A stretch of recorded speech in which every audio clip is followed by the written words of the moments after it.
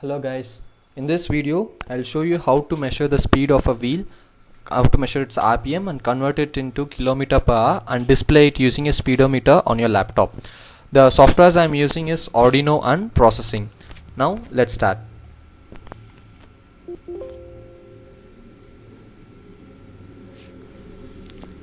Okay, I'll start with a small basic information about the Hall effect sensor. The Hall effect sensor is a three terminal device and it has a positive 5 volt and a negative ground and the signal pin is connected to the second pin of my Arduino board as shown in this picture.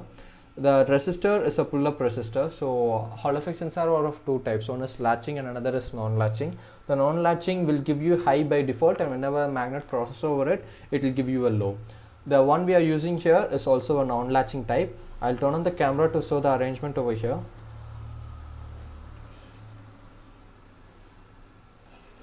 I'll just set up it. Sorry about that.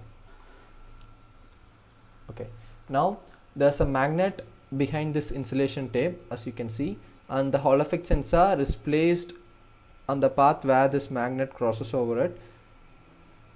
The Hall effect sensor has a pull-up resistor in it. This is a the one that I'm showing over here is the same arrangement. As you can see there is a pull-up resistor inside it. I have used a small dot board to connect the pull-up resistor to it and has made it compact.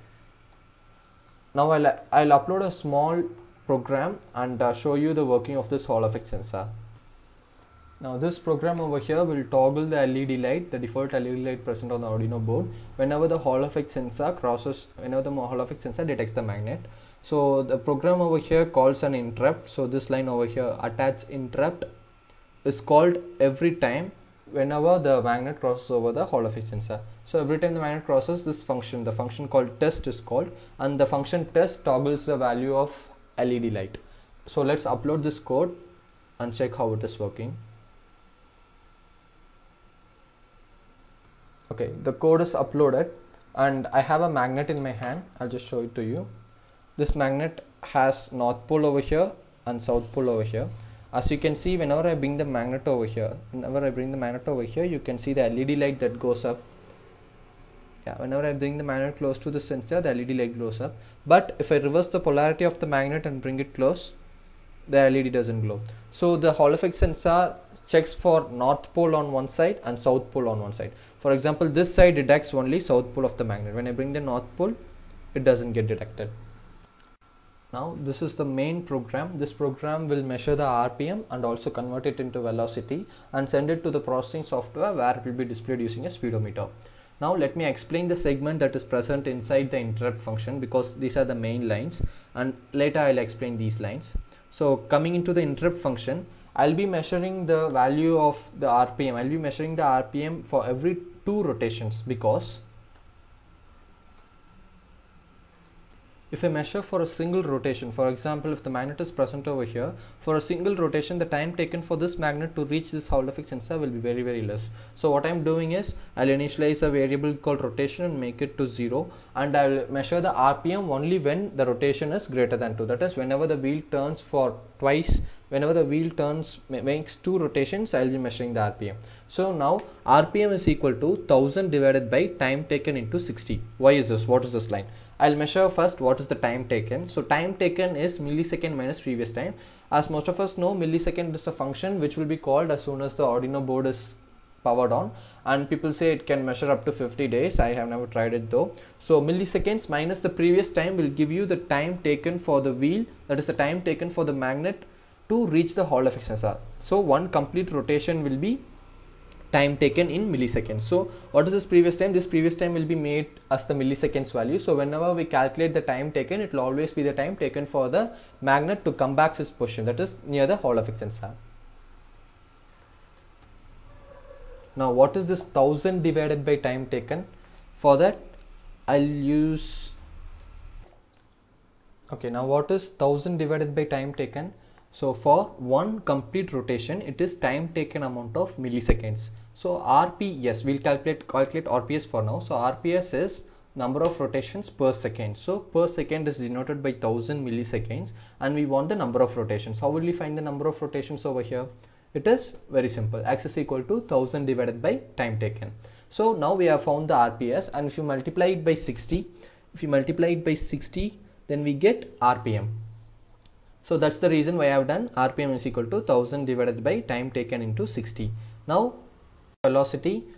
Velocity is equal to radius into rpm into 0.37699 this will give you the value of kilometer per hour. So it converts rpm into kilometer per hour. What is this 0.035 it is the radius of your wheel. For example for me this wheel this wheel has a radius of 0.035 meters and it depends upon your project. The value of 0.035 will change. And this 0.37699 is a constant one.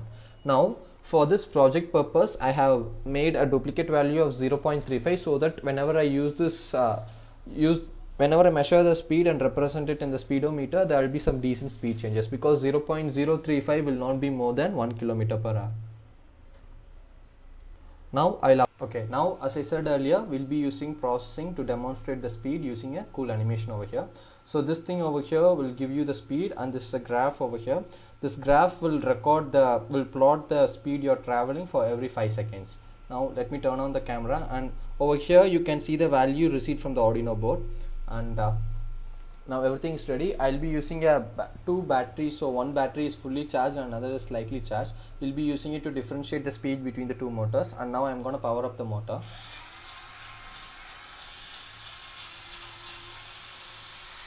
So this hall effect sensor should be fixed properly. Otherwise otherwise the readings might get varied. Okay now anyway no problem. Now as you can see uh, motor is traveling it is actually not traveling for demonstration purpose. I, I have used it as 0.35 as I said earlier. Now the speed can be measured uh, can be indicated by using a speedometer over there. It is around 11 kilometer per hour say for example. And the graph over here plots the speed. And uh, you can see for every 5 seconds the graph is plotted. Now I'll change the battery so that we can measure higher speeds yeah. So for every 5 seconds for the 10 second for the 10 second over here as you can see for the 10 second the graph is plotted. For the 15 second the graph is plotted. For the 20 second the graph will be updated. So now the speed is around 11 kilometer or something. I'll use another battery so that we can find much more variation